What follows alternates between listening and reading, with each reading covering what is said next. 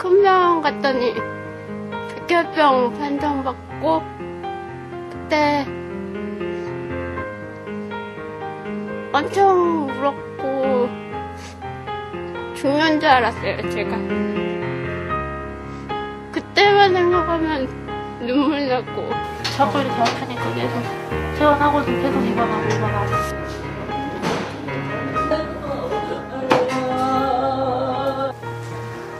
답답하고 억울해요 회사에서 도움을 못 받고 있는 것 같아서. 사람들이 정당하다는 것을 동조해 가고 있습니다. 아, 김칠준 어, 부회장님. 서울대 보건대학 원장으로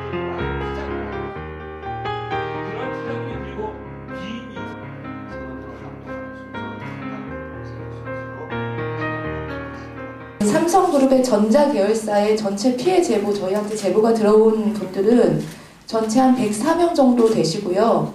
대부분 그 암과 희귀질환 발병자이고 이 중에 35명은 사망자 제보입니다. 그 삼성 반도체에 그러면 백혈병과 림프종, 조혈계암 피해자는 얼마나 되냐 하면 현재까지 저희들한테 제보를 통해 밝혀진 바는 발병자가 36명, 사망자가 15명으로 확인됐습니다. 삼성자에서는 산재를 인정해달라는 자기네하고 아무런 관계가 없다 그러고 개인적인 질병을 이- 질병이라 하고 전부 다 내쫓고 있습니다.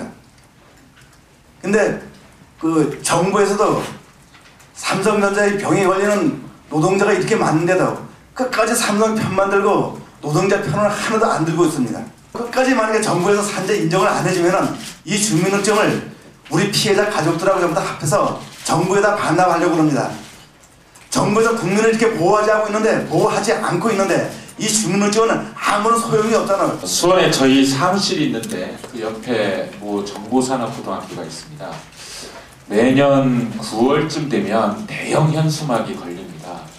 축 삼성전자 열 몇 명 합격하고 명단이 쭉그 걸립니다. 그런데 바로 이제 그런 학생들이 이제 졸업을 하면서 바로 이렇게 삼성에 취업을 하게 되면 그 작업장이라는 것이 바로 이런 것입니다. 사실 그들이 작업장에 들어가면서 어떤 어떤 물질이 발암 물질이나 희귀성 난치병을 일으킬 위험성 있는 물질이다 라고 하는 것을 제대로 설명 들었을 턱이 없고요. 근로복지공단이나 이런 곳에서 요구하고 있는 것은 도대체 어떤 위험한 물질에 노출됐느냐, 얼마만큼 자주, 얼마만큼 많이 노출됐는지 입증해보라. 사실 어떤 작업 환경에서 어떻게 일했는지 자료를 확보할 수도 없는데 안전보건에 관련돼서 어, 있는 문제들은 어떤 기업 비밀일 수는 없는 것 같아요. 영업 이익이나 아, 관리 대상이라기보다는 아, 정말 기업의 윤리 내지는 아, 원칙.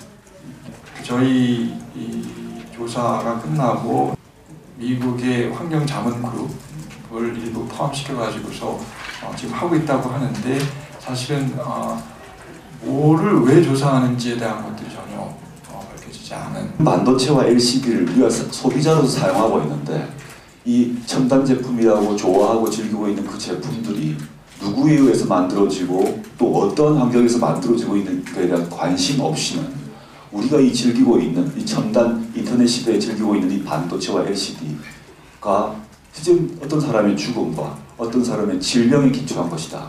변화가 있으려면 근본에 있어서는 시민의 노력이 필요하다고 생각하고 있습니다. 이 정말 아주 화려하게 우리 사회에 깔려 있고 자랑되고 있고 홍보되고 있는 삼성 신화가 있습니다. 이 삼성 신화의 뒤편에 그 삼성 신화의 그림자에 그 가려 있는 노동 현실을 시민들이 보아야 된다라고 생각을 하고요.